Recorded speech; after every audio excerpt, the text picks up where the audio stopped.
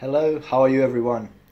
In this video we are going to see figures of speech used in English literature uh, which are very useful when creating a new text.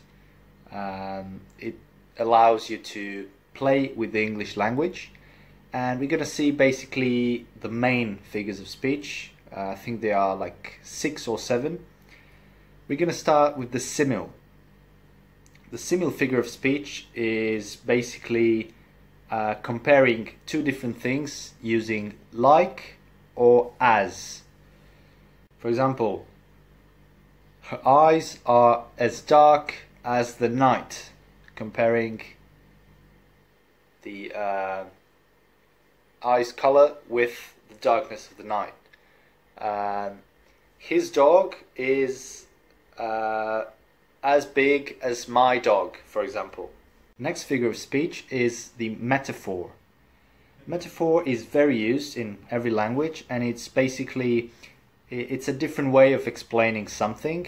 Um, so, for example, his life was quite a journey. He lived through a lot of things, so his life was like a journey. It's comparing the life of a person with a journey.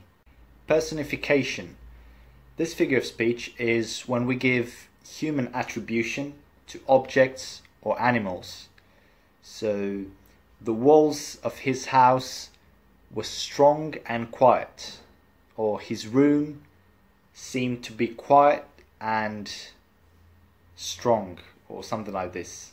Human attributions for um, objects. The next one is an exclamatory figure of speech and it's the apostrophe.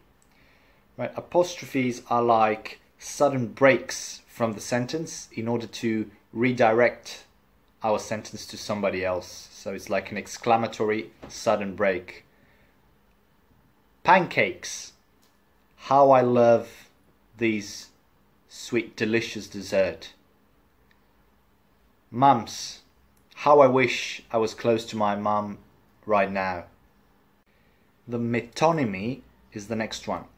So a metonymy is when we uh, switch one word for something else that means something similar. It's not exactly the same, but it could be a synonym. That's a, a metonymy. And for example, instead of saying um, the United States are sending help for countries in Africa, we would say Washington is sending helps help for countries in Africa. We're using the capital. Or um, the United Kingdom has left the European Union. We would say London has left the European Union, for example. Next figure of speech is onomatopoeia. Onomatopoeia are uh, very, very used, are very common, and they they refer to the sounds produced by anything uh, around us.